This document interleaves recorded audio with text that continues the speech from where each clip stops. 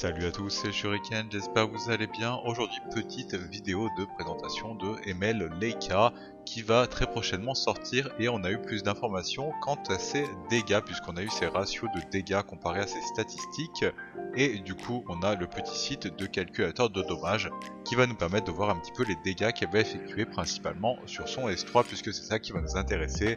Ça va être un personnage orienté cleave, orienté gameplay agressif du coup, on voudra regarder ses dégâts principalement sur le S3. J'ai regardé un petit peu l'avis des gens aussi en parallèle sur Reddit pour voir un petit peu comment ils comptaient jouer la MLK, ce qu'ils envisageaient aussi comme build, et je vais faire un petit peu un bilan des différents builds que j'ai pu trouver.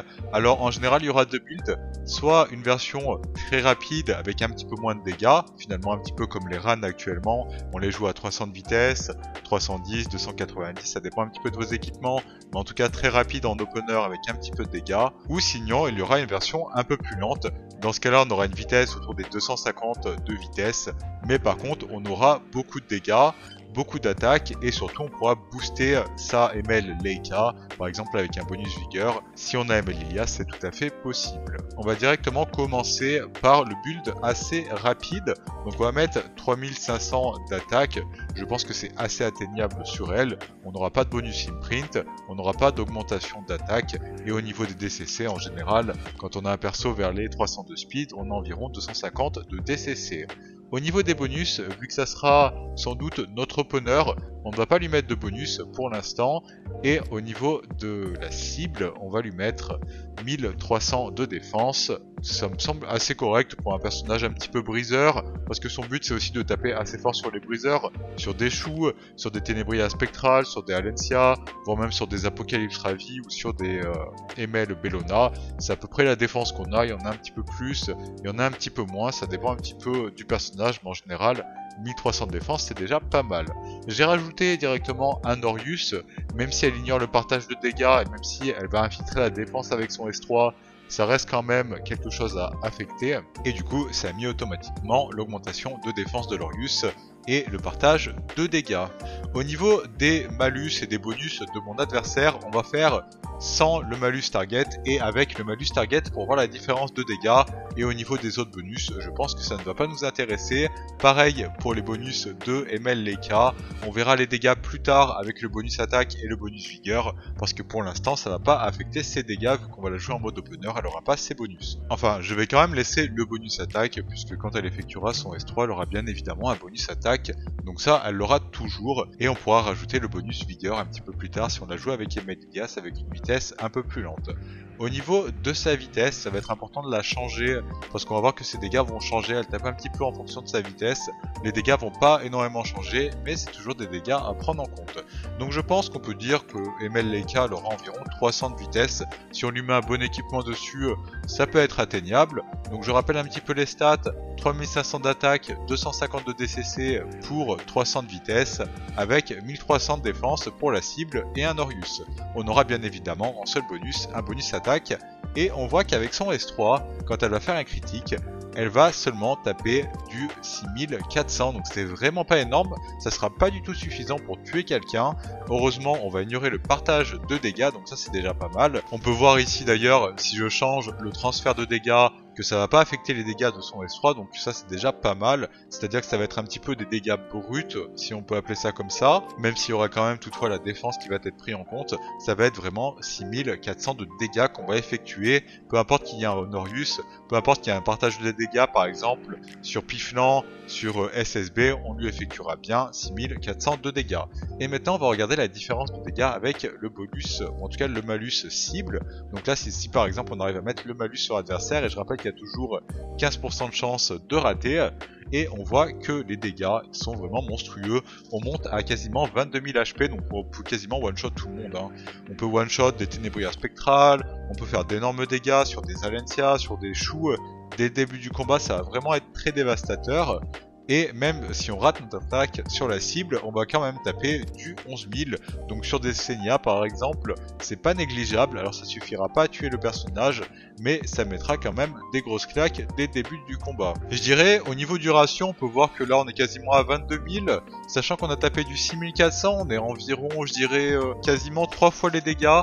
Avec un malus cible, donc on voit que quand même ça va être un petit peu comme Space, donc c'est un peu la peur que j'avais au tout début quand j'ai présenté le héros et que j'ai donné mon avis, c'est que si on n'arrive pas à mettre le malus target, malheureusement on va pas taper très très fort et ça sera exactement le même problème que Space, ça va être un personnage très dur à sortir et assez RNG s'il n'y a pas le malus vraiment le malus qu'il faut. Donc par exemple pour Spez ça va être le malus stun, pour elle ça va être le target. Malheureusement ça va être compliqué de faire d'énormes dégâts et ça c'est un petit peu le point très très négatif du héros parce que si en face il y a des résistances malheureusement on n'aura pas une très grosse augmentation de dégâts et mis à part son S3 le héros ne va pas servir à grand chose vu que ça va être un personnage plutôt cleave, en général on va vouloir faire un S2, un S3 et terminer très rapidement le combat. Du coup on va pas trop miser sur les dégâts de son S1 et on va pas trop miser sur le fait qu'on va cycler très vite pour pouvoir tuer les adversaires. Au bout du deuxième S3, malheureusement notre MLK sera déjà morte. On va ensuite tester un deuxième build. Donc là, ça va être une ML Leka avec 4000 d'attaque. Cette fois-ci, au niveau des DCC, on va monter à 3100 de DCC. J'ai failli dire 3000, mais ça sera bien 300 DCC. Cette fois-ci, on aura toujours le bonus attaque. On va rajouter un bonus vigueur. À la limite, on pourrait même rajouter un bonus torrent. Vu que ça va être un personnage quand même assez bien respecté, je pense qu'on peut lui rajouter un bonus torrent. On n'en aura qu'un seul. Et toujours pareil, au niveau de la cible, on aura toujours un Dorius, il est ici, et on aura toujours 1300 de défense. Et au niveau de la vitesse, par contre, on va baisser un petit peu la vitesse parce qu'elle tape aussi en fonction de sa vitesse. On voit que ça bouge en bas. On va mettre 250 de vitesse. Donc là, c'est un très bon équipement dégâts. Hein. Très bon équipement dégâts, 4000 d'attaque, 300 DCC pour 250 de vitesse. Elle est déjà bien respectée. En plus, avec un set torrent, il faut aller le chercher. Et on voit là quand même les dégâts sont assez importants. On monte quand même à 11 000 de dégâts. Alors forcément elle va pas jouer tout de suite. Du coup elle pourra se faire contrôler. Elle pourra se faire cleave si l'adversaire est plus rapide en face mais on voit que par contre les dégâts sont vraiment très impressionnants. On tape quand même à 11 000. Alors une STN, ça pourra se faire one shot. Effectivement, je pense qu'une STN pourra se faire one shot vu qu'elle va taper en zone avec son S3. Donc ça, ça peut être intéressant, ignorer le partage de dégâts. Mais par contre, s'il y a un shield sur Ténébria Spectral, si par exemple elle a un shield procuré par une FCC ou un autre personnage qui peut un petit peu la protéger ou lui donner un shield dès le début du combat comme par exemple une Bunny Dominiel. Imaginons qu'on joue contre Bunny Dominiel et qu'on a Silias de notre côté, même si on se donne un bonus vigueur, malheureusement la Ténébria Spectrale aura un gros shield et dans ce cas-là on va pas réussir à la tuer. Mais par contre on aura quand même de bons dégâts, on monte quand même à 11 000, c'est pas négligeable, mais encore une fois ça servira pas à one shot des personnages. Pour un personnage avec un aussi gros équipement, je trouve que quand même 11 000 de dégâts, c'est pas non plus énorme, ça permettra pas de one-shot des personnages, il faudra d'autres héros en plus pour taper. Alors bien évidemment, avec ce genre de speed, on pourra compléter avec d'autres héros pour taper en zone, comme par exemple Emel Pavel, comme par exemple Pavel, comme par exemple Politis.